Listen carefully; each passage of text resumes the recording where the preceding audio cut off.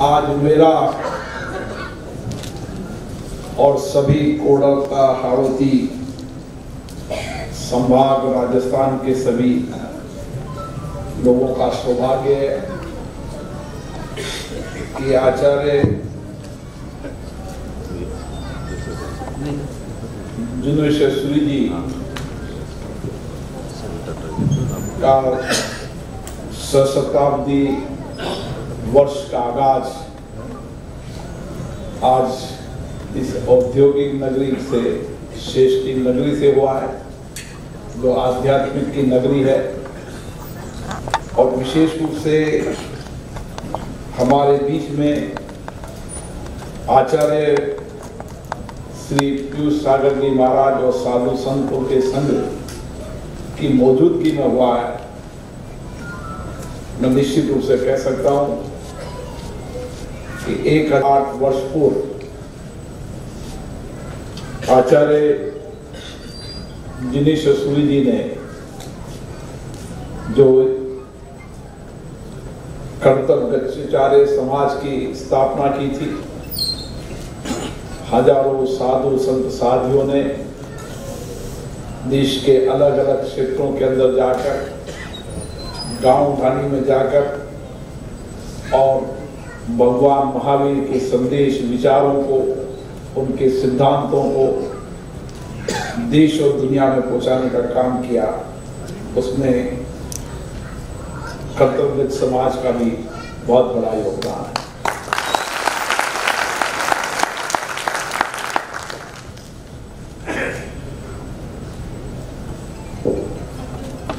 जब भी मैं जैन संतों के सानिध्य में आता हूँ, उनकी तप, तपस्या, समर्पण, उनकी वाणी, उनका जीवन हम सबको नई प्रेरणा देता है। और मैं तो मेरा सौभाग्य मानता हूँ कि मुझे आचार्य पीयूष सागर जी के दर्शन करने का मौका मिला।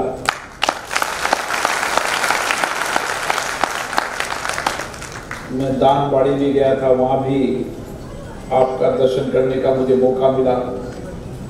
और मैंने उस समय भी कहा था कि चाहे कितनी भी व्यवस्था हो, मेरे लिए राजनीतिक व्यवस्था से ज़्यादा आध्यात्मिक और आपके दर्शन करने का सौभाग्य मिलती है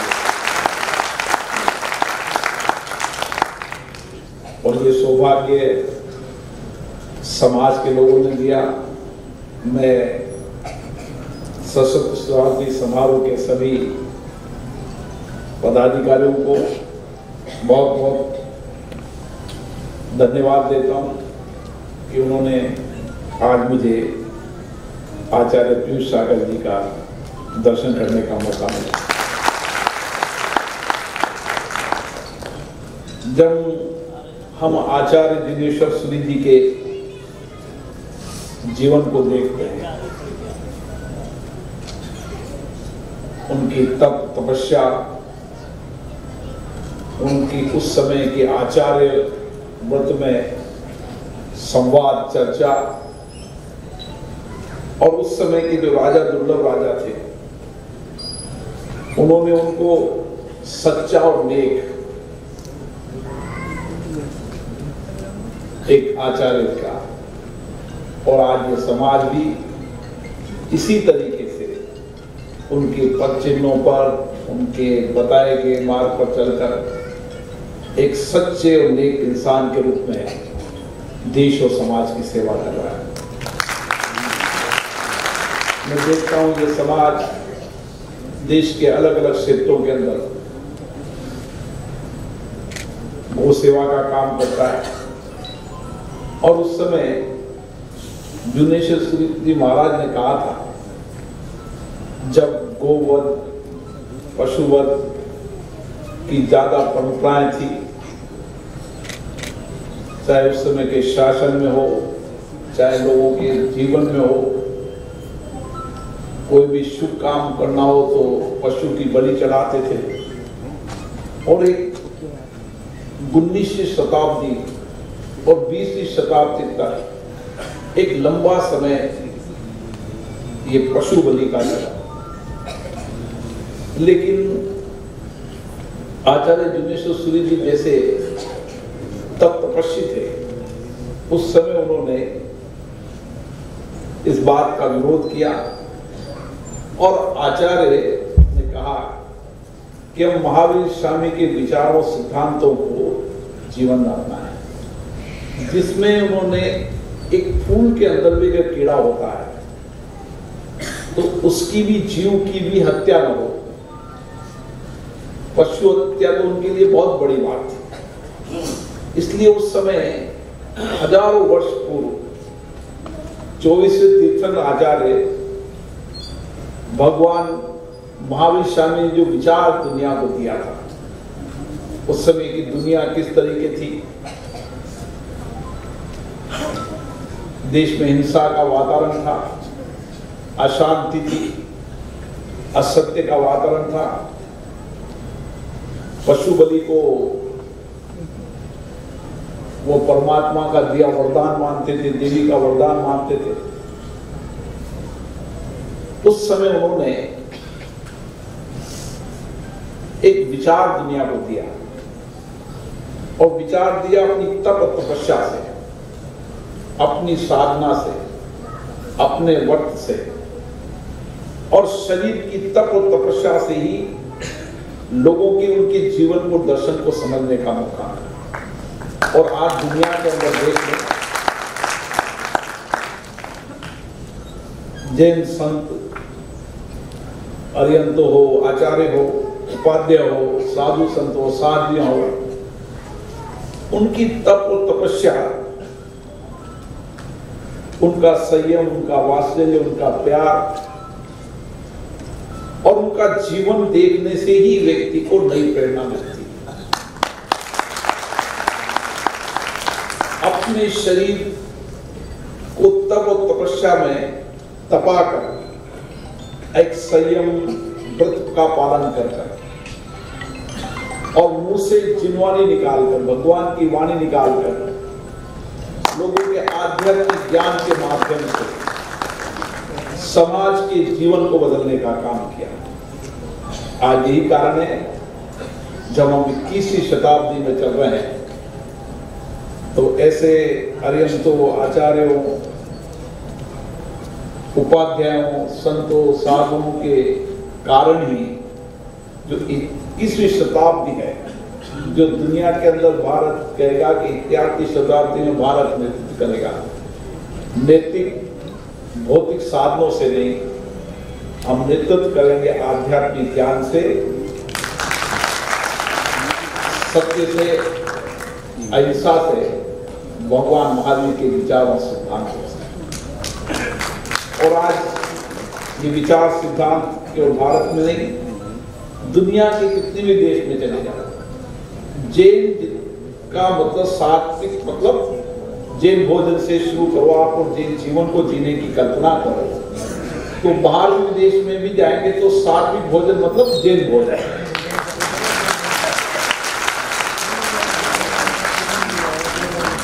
अहिंसा मतलब भगवान महावीर का विचार। सत्य मतलब भगवान महावीर का विचार। अपरिग्रह। जो कुछ भी है समाज के लिए आज दिशा पड़ती है। हमने कोरोना जैसी आपदा की स्थिति के अंदर देखा दु, दुनिया के बड़े देश विकसित देश भौतिक संसाधनों से इंफ्रास्ट्रक्चर से हमसे बड़े थे। लेकिन हमारी सामूहिक शक्ति हमारी आध्यात्मिक शक्ति हमारा अप्रग्रह का विचार जिसके कारण संपूर्ण समाज में जिसने भी जहाँ अभाव वंचित गरीब व्यक्तियों को देखा, अपना समर्पण किया, धन का समर्पण किया, सेवा का समर्पण किया, जिसके पास जो बनता था, उस आपदा की स्थिति में किया। ये विचार आखिर किसने दिए? ये विचार दिए भगवान महावीर ने।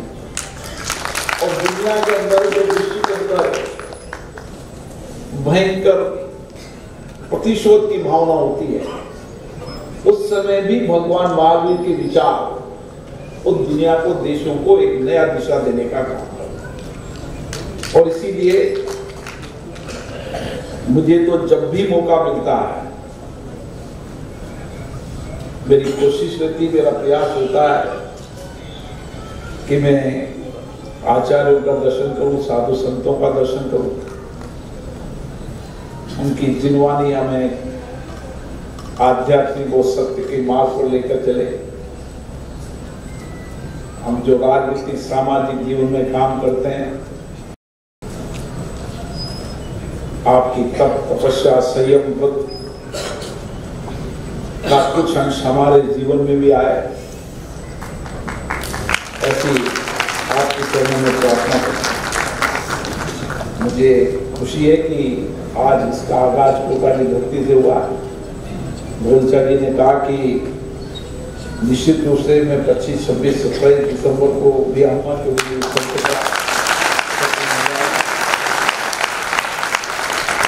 मेरी एक पीड़ा रहती है कि कुछ क्षण मौका मिले जब आचार्यों को सुनने का मौका मैं जैन समाज में जाता हूँ तो स्वागत समारोह तिलक तिलक माला इसमें बहुत समय लगता है। उस समय मेरा मन बहुत कष्ट होता है। हम आते हैं आचार्य के दर्शन करने, उनकी जिनवानी को सुनने। तो मैं जैन समाज से हमेशा कहता हूँ कि इस स्वागत समारोह के समूह को त्याग कर।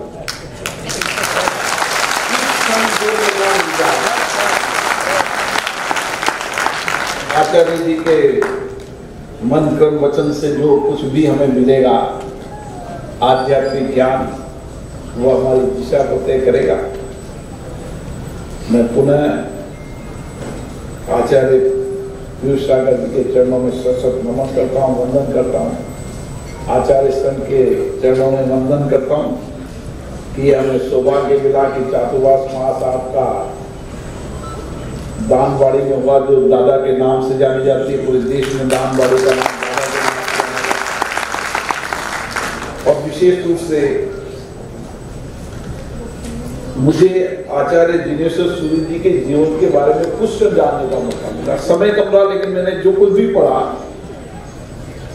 आप उनके जीवन, दर्शन, उनके विचार, उनका आध्यात्मिक ज्ञान, उस समय उनकी तप, तपस्या, उनका जीवन किस तरीके से उसने, उन्होंने संपूर्ण जीवन को समाज को समर्पित कर दिया।